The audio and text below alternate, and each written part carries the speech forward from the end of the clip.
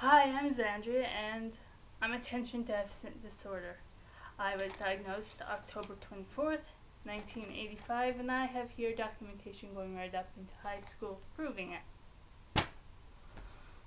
And the reason why I'm doing this video is because, well, about one third of students drop out from high school, according to studies.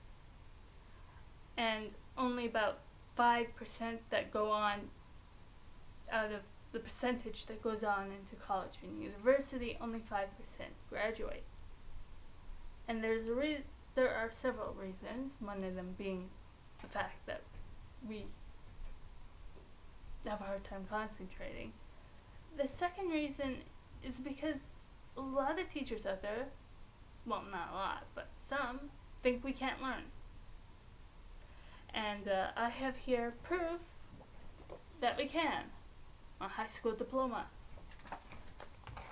Safe certificate. An Associate of Arts degree. All of which you have to learn in order to get. Like you have to learn stuff in order to get this. You also have to learn to talk, to read, to speak.